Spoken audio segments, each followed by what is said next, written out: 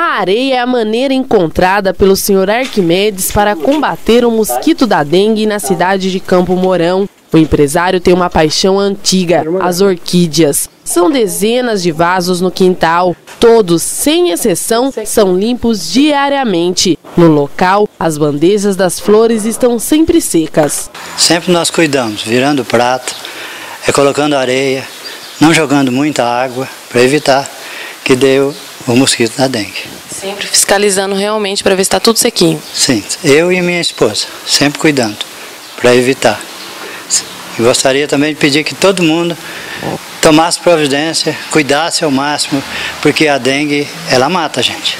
Os cuidados são fora e dentro da casa. A água só é colocada na quantidade certa para alimentar a orquídea. As bandejas ficam viradas para baixo e os vasos têm furos para garantir que a água nunca fique parada. Caso a medida seja mais do que o necessário para a planta, a água escorre por este ralo. Todas essas precauções são para evitar um mosquito transmissor da dengue. Mesmo com estes cuidados, o empresário teve a doença este ano. Eu fiquei deitado na cama muitos dias. Quando chegou o meu exame, inclusive, eu já tinha, já estava trabalhando já. Quais foram os sintomas que o senhor sentiu?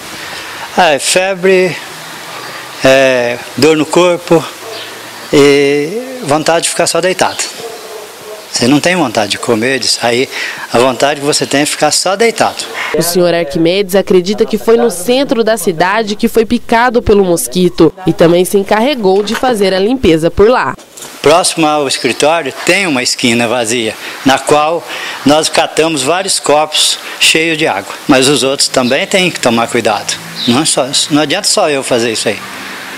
Adianta, é, todo mundo, você, todo mundo tem que tomar cuidado, tem que evitar jogar lixo nos terrenos vazios. A dengue é uma doença infecciosa febril aguda, transmitida pelo mosquito Aedes aegypti. O infectologista explica que são quatro tipos de dengue. A dengue tem a forma inaparente, a dengue clássica, a febre hemorrágica do dengue e o choque da dengue.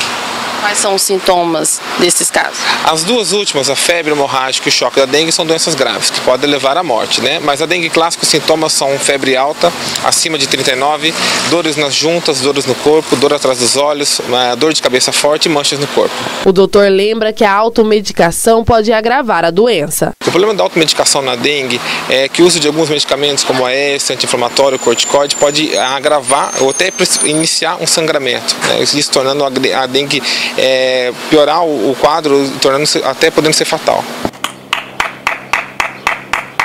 O trabalho dos agentes de saúde tem sido constante nos bairros de Campo Mourão. Durante as visitas nas casas é feita a fiscalização dos quintais. Os lugares que podem proliferar o um mosquito recebem tratamento. Dona Leonilda também recebeu todas as orientações sobre a doença. Que fazendo esse trabalho deles, a gente tem a convivência com medo, né? Convive com medo dessa doença, né? Da dengue, né? Então isso é muito importante que passa nas casas, orienta as pessoas, né? Embora nem todas as pessoas tenham consciência de cuidar do que seus quintal, mas a orientação vem na porta da casa para eles, né? Eu vai tomar mais cuidados? Sim, toda a vida vou ter cuidado do meu quintal, sim. Nada escapa dos olhos do agente da saúde. A maioria dos lugares são nas residências ah, os vasos de flores, né? No caso dos entulhos, que a pessoa já acumula materiais que faz a reforma na casa e deixa no canto, né? Também. E no caso dos bebedouros dos animais. Os bebedouros dos animais, a pessoa às vezes fala que lava, mas ela só troca a água. Simplesmente ela tira aquela água suja e coloca outra sem lavar o, a vasilha, né? Aí é onde que na borda, porque o mosquito mosquito não põe os ovos na água, ele coloca na borda. Aí, conforme não há a lavagem adequada do recipiente, aí os ovos, conforme a, a, colocar a água novamente, os ovos entram em contato com a água e eclodem, saindo as larvas. A prevenção é a única arma contra a dengue. A melhor forma de se evitar a doença é combater os focos de acúmulo de água. É preciso limpar os locais que podem aparecer um mosquito transmissor, como as garrafas descartáveis. Foi foi a criatividade e a falta de recursos financeiros que fizeram com que o senhor Lorival descobrisse uma maneira de combater o mosquito e proteger sua casa. Ele construiu uma cerca de garrafas PET. Eu precisava fazer a cerca e não tinha madeira, então preciso fazer isso aqui, né? Protege o mosquito também e cerca meu quintal, né? E como é que o senhor junta as garrafas? É que a mulher sempre junta papel na rua e vai separando as garrafas, né? Aí eu vou separando e, e vou fazendo, né? Foram tantas garrafas utilizadas para fazer a cerca que o senhor Lorival perdeu a conta. Ele arrumou um jeito de encaixar os frascos um dentro do outro. Para um metro de terreno são necessárias 35 garrafas. Depois elas foram presas no arame. Pedaços velhos de madeira servem de apoio para a obra. A cerca realmente é resistente, vai durar muito tempo. Muitos anos.